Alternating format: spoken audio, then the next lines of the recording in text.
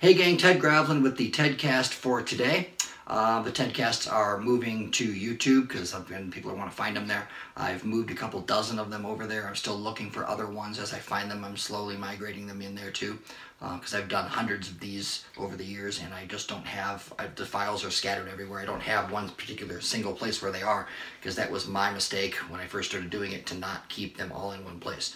Um, if you want to subscribe, hit the subscribe button. Um, also hit the like button, make comments. I like comments. Um, if you're watching on a platform that's not YouTube, like Facebook groups or something, then go ahead, go to YouTube, find me, uh, search Ted Gravlin, find the channel, subscribe.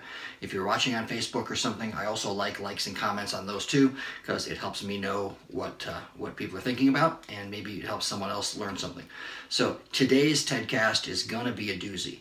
This is the one that causes more companies to succeed or fail more than anything else that I've ever worked with anyone. Um, and it really comes down to this. The question, what's holding you back? And it really is an important question because if we think about it, there's probably 50,000 or so companies in North America. That number is hard to target, hard to know for sure, but let's use that as a number.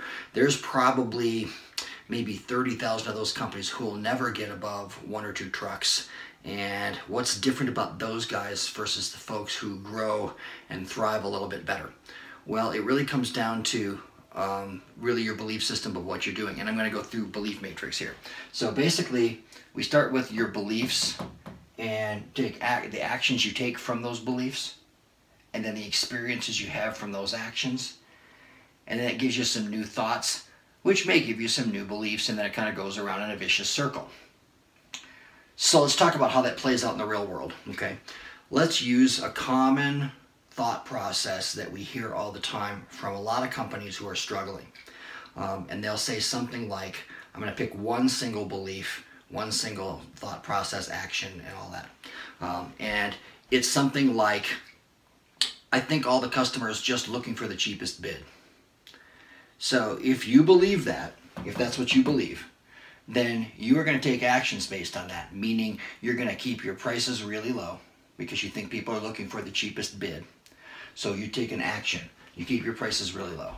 And then you go out in the field and you get experience. Maybe the experience is, oh, this other guy was $10 cheaper and they bought it from him. Maybe the experience is, I was, I was inexpensive and someone bought from me.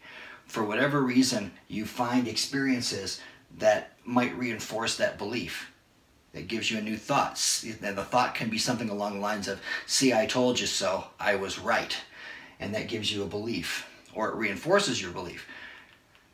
Now, how do you break the cycle if it's a belief and an action cycle and experience and thought that's not helpful for you?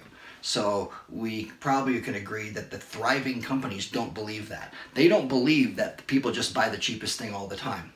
Um, the most successful companies actually believe quite the opposite. They believe, hey, look, the good customers will pay whatever it takes. That's a different belief system. So how do you get in here and break the cycle? Well, from a coaching perspective, what we do is the easiest thing for me to do is jump into the action area. I can say, do this new thing and get an experience from that. I could say, for example, try something super radical. Raise your prices X percent uh, for the next 10 days and see what happens. Um, now we don't actually do it that way. We actually go through some mathematical models because um, when I'm having my clients do some of the exercises we have them do, um, I don't do that for them. I have to make them do it because I have to build new beliefs for them. For example, I need to have them take their costs with their own pencil and paper, work out what their real numbers need to be, and say, okay, I didn't lie to you. This is your real numbers. I'm hopefully trying to give give some new beliefs, excuse me, that will lead to some new actions. New actions would be sell at a higher price. See what happens to that. Holy cow, they didn't say no. Okay, maybe I was wrong. Um, maybe I can have a belief that they aren't selling, buying from the cheapest thing. So this is the matrix, and we go over this as humans over and over and over again. This is how we change where we are, because we're back to the first question. What's holding you back? What's holding you back is, you know, the definition of insanity. Keep doing the same thing and expecting a different result. Obviously, you have to do something different to make a different result. So we got to get into this matrix and figure out where you're going to jump in. And you can jump into any places in there. If you have a new thought, build a new belief, it works for you. If you and the easiest thing again from a coaching perspective is to ask you take a new action. Now, here's where some clients are more successful than others, and this is the dirty little secret that most coaches won't tell you. Um, the difference is I've got clients who, when I say do this thing, they go, no problem, I'll do it. I'm, I'm off, I'm on it. And other people, they want to kind of argue it in their own mind, and sometimes that means arguing with me, and it's fine, I can take it. But when I ask them to do something, they're like, I don't want to do it that way, and then eventually, when they finally do get around to trying it that way, then I can change their belief and change the cycle. Um, so sometimes it's easier, and sometimes it's not. Uh, again, the best people I work with are folks who are like, I'm fed up with being held back. I'm ready to do whatever somebody that knows what they're talking about says to do. I'll jump, I'll do the action, I'll get the experience, I'll change my thoughts.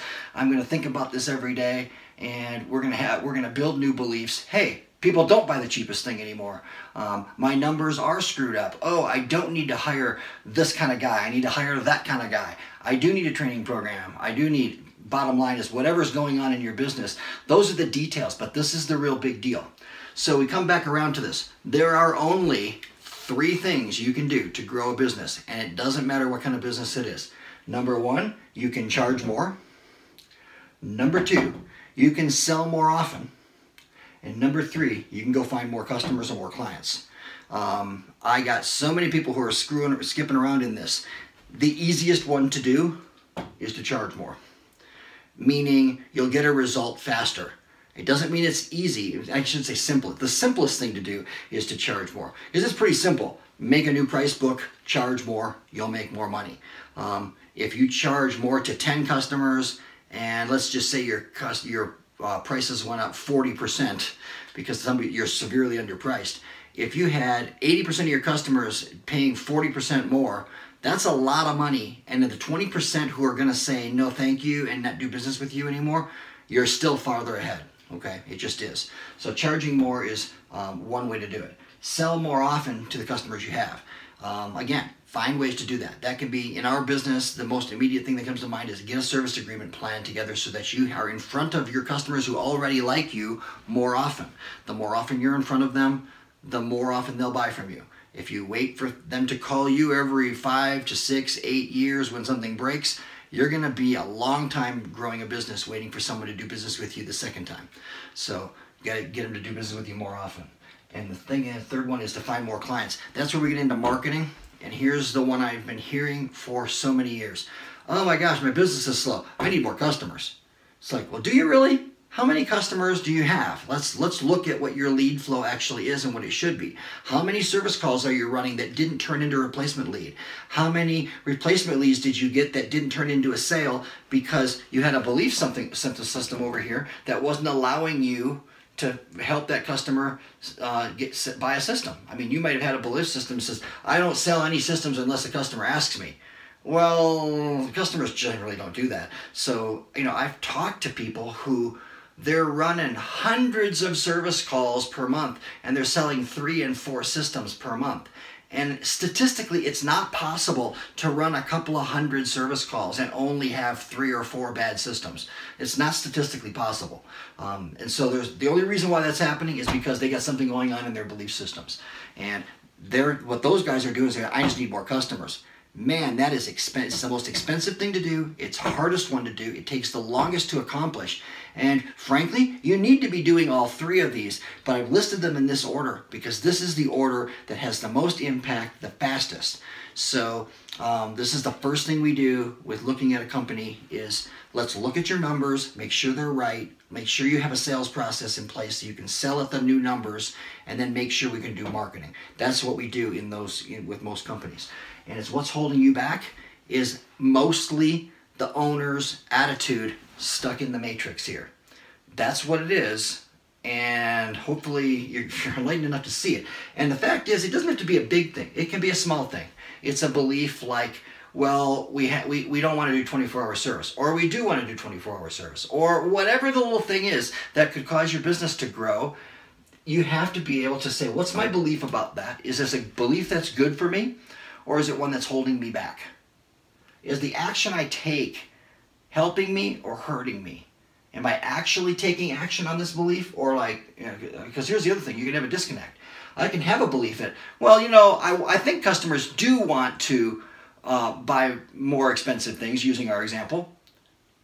But the action I'm taking is I'm still keeping my prices low. Well, that's not in incongruency with your belief. Your belief is they don't want to buy cheap stuff, but you still show them cheap stuff. And then, of course, you get the experience. Yep, see, told you so. They don't want to buy the expensive stuff. And it can be very subconscious. It can be very much like, you know, um, you're not even thinking that that's what's going on. But it's buried down in, when you're not thinking about it, your belief is, I'm not good enough. I'm not enough. I'm not, uh, I'm not what they're looking for. You know, those big companies have something I don't have. They don't, okay? Well, they do. They have a belief system you don't have. That's what it is. So, really, it comes around to those things. The fastest thing to do for me as a coach is to jump into this matrix, give you new actions to take, give you new experiences. I do teach people in a very first module, the very first week, how to do some thought process changes. Um, how do you manifest that? How do you say, you know what? Um, how do I, on purpose, make sure that my thoughts are going to create new empowering beliefs. And it's an important part, and most people never do it.